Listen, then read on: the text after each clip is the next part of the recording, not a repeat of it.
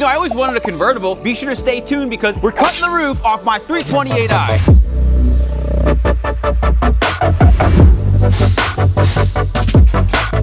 Welcome back to another video on my soaked F30 If you missed last week's video, let me catch you up. So basically what happened is I walked out to my car and found that there were over two inches of water in the back seat. I had a clogged sunroof drain, which normally gets all the water out of here and drains it down the door, which led to water pouring in my car for four straight days. Everything in the car is still completely soaked. The seats are wet, the floor I'm kind of nervous. To, oh, that's so disgusting. Now, before mold and mildew have a chance to set in, I'm going to pull out the seats, the front ones over here, completely remove the rear seats, which seems unnecessary until you see what we're up to. And then the most daunting task, I need to take up the entire carpet and honestly just throw it out and get a new one.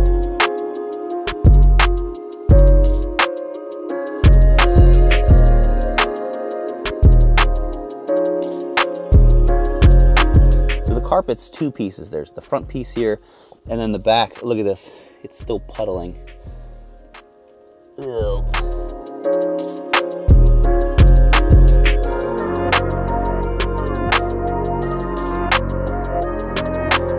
you can see that the carpet goes over and there's just a whole bunch of stuff in the way um, which makes it a royal pain in the butt to remove and install this. So even after just touching the carpet, my hand is like, it's like sticky and oily. So uh, this carpet probably need to get changed anyway.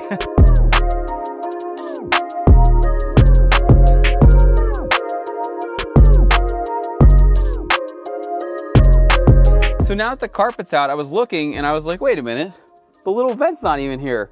Whoever had this car before me it should look like that. Like, where is it? so I'll have to get one of those when I put this car back together. All right, so for the old carpet, we're going for ease. And then when we go to put the new carpet in, we're gonna do it right. So I'm just gonna make a couple cuts and we'll be able to pull this old nasty carpet out of here. This carpet's surprisingly easy to rip. I'm not really sure why. I wonder if it's like dry rotted. If that's even possible with this.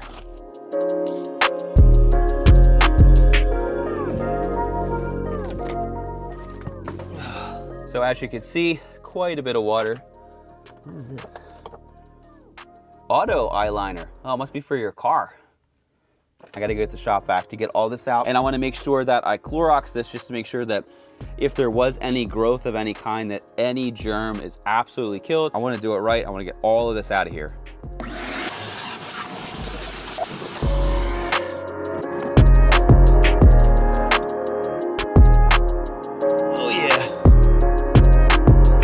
How do you make your sunroof stop leaking? Well, you completely take it out, which is what we are doing.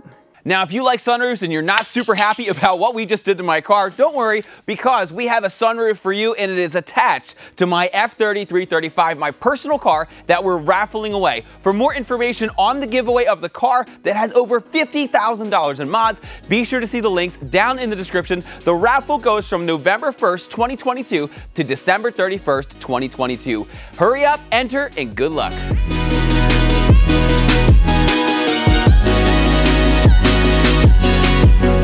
As you can kind of see, the floor is still pretty wet. I got as much of it as I could with towels and with the shop vac, but there's still a little moisture in here. So I'm gonna let the car actually dry out for a couple days. This video is not over yet, but for me, it's going to be. My friend Bill, you may know him as super officer or boost officer. He has a TTRS now.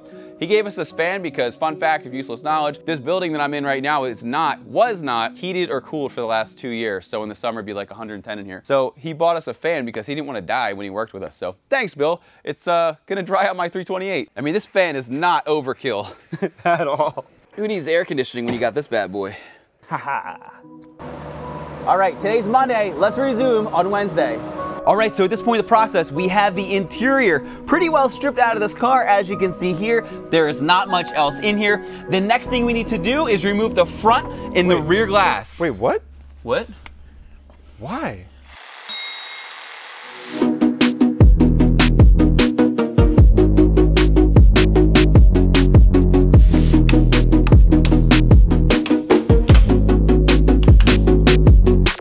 We're gonna be cutting the roof off my F30 328i. Dun, dun, dun. Now, truthfully, Zach and I have no idea what we're doing. Um, and that's what's gonna make this video so amazing because we're gonna be figuring it out as we go and hopefully we don't screw it up too bad. Now, we do know that to properly remove the roof, what you need to do is remove the rear glass and the front glass, which is something we've already done. And we've also dropped the sunroof, which is why it's over there on the floor. All right, so as I said, we haven't really done this before, but my understanding is we have to drill out these little spot welds. There is some of this glue stuff in here that we're gonna have to figure out how to chisel away. And then after we disconnect some things on the shark fin, we should have the roof free. Now I have a feeling like if I don't do it now, I'm gonna forget and I'm gonna rip some cords out. If you're ever working on electronics, here's a little pro tip. Always take pictures so you remember what goes where. Let me get this disconnected and then we'll start drilling out some of those spot welds. Oh look, here's the rear drains.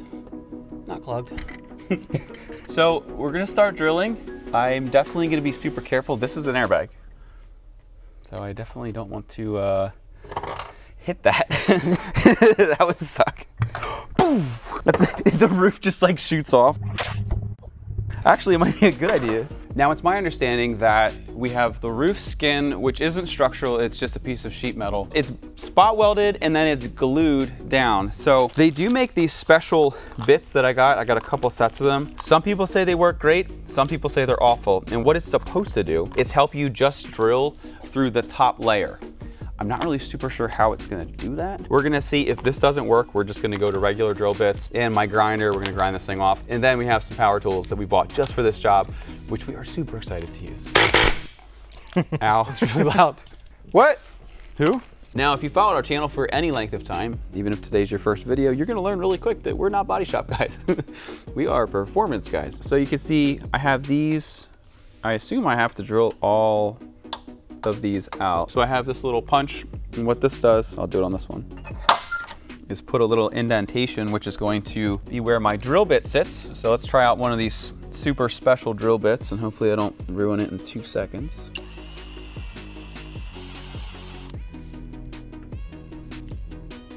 It's working decent, I guess. I just should have bought like 400 more Oh, I heard a pop. I, that was sweet. If that was it, that actually worked. Let me get the shot back. So that actually works surprisingly well. As you can see, it kind of just went through the first layer and then you kind of feel it click a little bit and then you're good to go. So at this time, I'm going to drill out the other 4,000 spot welds. We'll take it from there.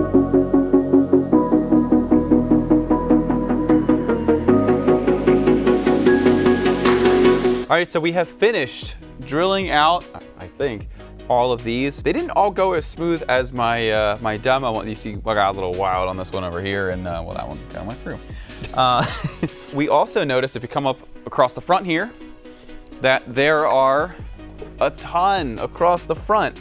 And in the back, I can't really tell, so I got a scraper. I'm gonna scrape away and see if we can see any.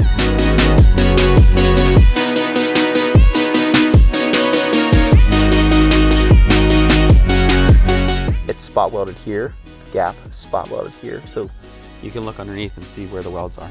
So we are going to have to remove these spot welds on the back just like there are in the front. Unfortunately, I'm running really low on bits. I blasted through four. Now the first one got us to like here and then there was three that got us to here.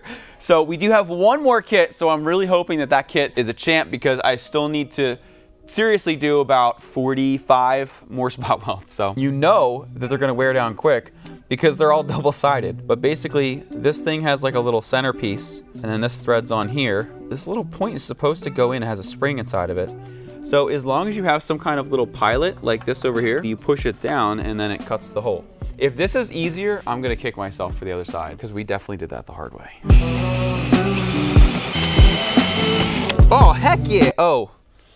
I don't know if I'm supposed to go all the way through. Well, if your goal is to go all the way through, it works really well. All right, one down, 300 to go.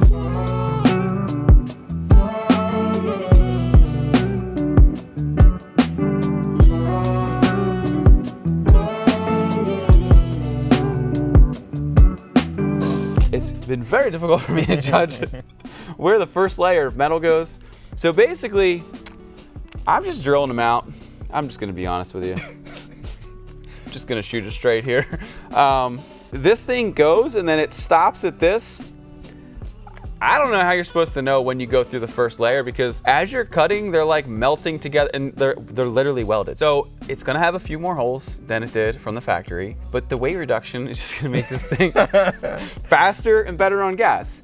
And it's not structural, so don't worry.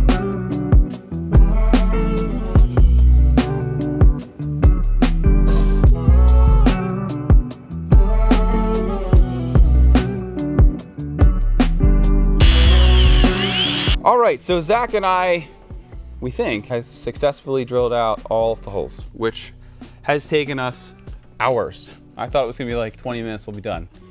No, in 20 minutes, we were like eighth of the way done. So what started to happen though is as we started to get in here, these are starting to pop up and starting to disconnect. So now the goal, and I do have uh, some power tools to kind of help us. Basically, the goal is to separate this while not like wildly taking, bending it out of shape. So basically that's gonna be the goal. Now over here, like if you look, like this stuff right here that I just scraped off, there's just like tar stuff. So like if you look here, all the body shop guys are like, no, you're doing it wrong. well, this is kind of nerve wracking, being honest. Oh, yeah. Oh, heck yeah. we shouldn't have even drilled them out. We just use this thing. Bam. All right, I want to say that this thing is like screwed down into the car. So I'm gonna try to get as much of this junk off as I can and see if I'm right about it. Oh, that was satisfying.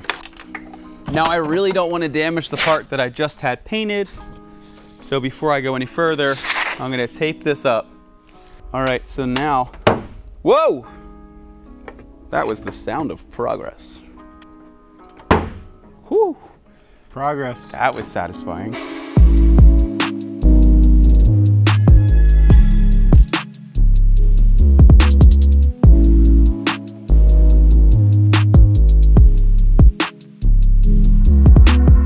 We have to get under this piece here. So I'm going to try not to try to get this thing under here. Ah! Are you okay? How bad? No.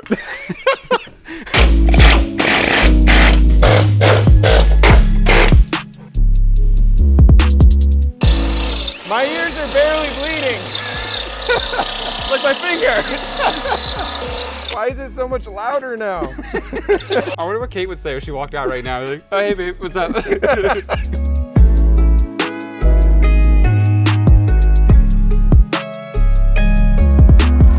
no. Oh, oh, hold on. All right, we did it. Hold on, hold on. Look, it's a convertible. we did it. It's like, it's like that. Here, hold on. Can't wait to feel my hair blowing in the wind. All right. so as you can see, we were successful. We mimicked the van over there, except this one has a side lift instead of a front lift. All right, Zach, we're closer than we've ever been.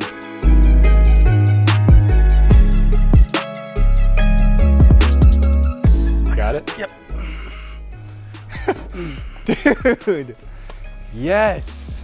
Behold, the F30 328 convertible. Wouldn't that make it a, uh, oh, it's an F33 now. yeah, F33? And that's how you make an F37, the four-door convertible.